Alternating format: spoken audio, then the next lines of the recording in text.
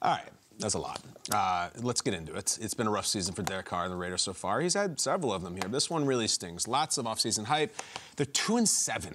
We're talking about them on the show right now for a reason. Head into Week 11, two and seven. There's been a lot of blame that goes towards Josh McDaniels. This team was in the playoffs last year. Raiders owner Mark Davis, though, does not share many of those opinions. On Monday, the owner told the Las Vegas Review Journal, "I like Josh. I think he's doing a fantastic job. That's why I hired him." We did an exhaustive search and found the person we believe is going to bring the Raiders to greatness. Uh, so here we are, 10 weeks in. I think they're unequivocally the most disappointing team in the entire league out of 32. So we ask, What's going on with the Raiders, and what are our thoughts about what Mr. Davis had to say? Mike Garafolo. We talked on the show yesterday where I said I would be surprised if Josh McDaniels got bounced after one season. Uh, so that's one end of it, and then the other end of it is what you're just reading right there. I don't, I don't think we're there. I don't think we're here. I don't think we're there. We're somewhere in between, and you got to kind of grade uh, a little bit on a curve here because this is a team that just has not drafted well mm. in recent years, and you got a previous regime, and they let themselves go of Jonathan Abram, who was one of those key picks. I mean, I can mention Alex Leatherwood, Henry Ruggs, Damon Arnette, uh, Ferrell, who was inactive the other day uh, for a disciplinary reason, I believe. Um, it's kind of hard to win when these are your top draft picks. And I could go on and on. There are more of them that haven't contributed. Uh, so that's a problem. So you're just going to have to sit here and give this regime some time, uh, some time to, to reset, get their own guys in there, and show that they can win games. I would say this it's not like it was the first time Josh McDaniels was a head coach with the Denver Broncos where it was an unmitigated disaster and guys couldn't stand him and he just had no ability to communicate with guys. Maybe he was trying to be Belichick, whatever it was.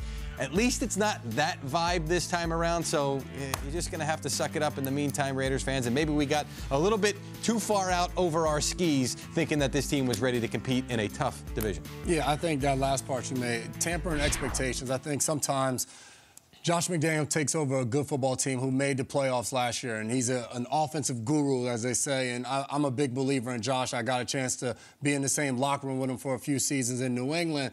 But when you take over a team and you insert a new general manager, a new head coach, a brand new coaching staff with their own system, you don't just roll the ball out there, go play football, and the team just takes off. You see that happen sometimes. Kevin O'Connell's doing a great job in Minnesota. Daboll's doing a really good job with the New York Giants. But that's not taking place right now for the Las Vegas Raiders. But it's not like, all right, Josh McDaniels is a terrible coach. He's here. They're not winning. Get rid of him. No, sometimes it takes time. You install your system. Guys need to buy in. Everybody needs to learn that system, learn how to execute the system under pressure as well. So I think it's going to take a little bit of time. I'm right with you, Mike G give them time to get everything rolling. And it's not a rebuild. You're just continuing to build on a team that you Jason, have. they're the worst team in the NFL. Okay. They have Davante Adams on the roster. Yeah. Okay. And they Davante Crosby. Playing... Yes. They have Derek Carr. You're talking about Matt LaFleur rolls out of bed, wins 13 games with the Packers. You're talking about Sean McVay rolls out of bed. What do you mean, give it some time? You don't hire a guy and all right, we we learned two out of our first nine games, so it's just like all right, it didn't work. The Rams suck right now. Mm-hmm. They're not playing well. Mm-hmm. They still have a really good football coach, and I know he's had the past success. So I'm not comparing McDaniel's to McVay. Yeah. I'm just saying, just because the team is struggling doesn't mean all right, throw it all out, mm-hmm. start all over because you Fire Josh McDaniels. You start over. You bring a new coach. I was a part of this for many years. I played eight years in Tennessee, four different head coaches, three different general managers. We never went to the playoffs, not one time. Mm-hmm. And it wasn't until after that Mularkey went to next year, and then obviously Vrabel with the success they've had. But every year, if you just keep hitting the reset button, keep hitting the reset button, it doesn't guarantee success. Uh, I was just asking you because I look at that roster, and Mike, as much as they've hit, they've missed on draft picks, they do have talent all yeah. over it. And you know, Davante Adams, you think about Davante, what he's got going on there, and then you think of what Tyreek Hill got when he went to Miami. Yeah. It's like the, the complete different end of the spectrum of when you leave these teams for, for new ventures. One and done though is rare air. I mean, that's that's Jim Tomsula, that's Steve Wilks in Arizona, that's Freddie Kitchens, that's Cam Cameron that one year in uh-huh. Miami, and I don't think Mark Davis is going to go one and done. Mark Davis still has a settlement with Jon Gruden. Mark Davis is a, a different financial situation than some of these other owners. Like, I don't see Mark Mark Davis paying Jon Gruden and paying Josh McDaniels out another four years of his contract. So, uh, brass tacks on this thing. He's not going anywhere. They're not firing him and just eating the cost. I don't think Mark Davis has the liquid to just fire him and eat all these costs and say, let's keep on rolling.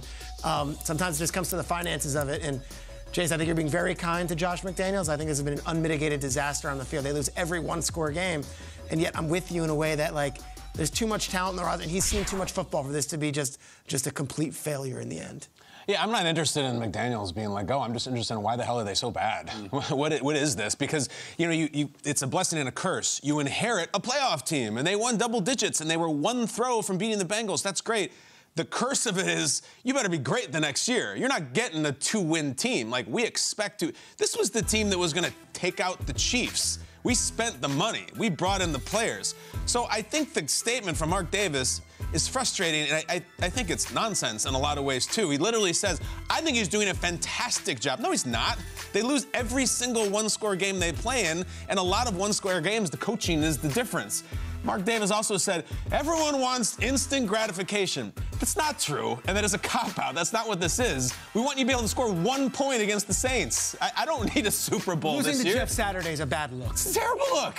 Who's he gonna lose to next week? Kornheiser? I mean, come on. What are we doing here? You lost to a guy in his first game ever.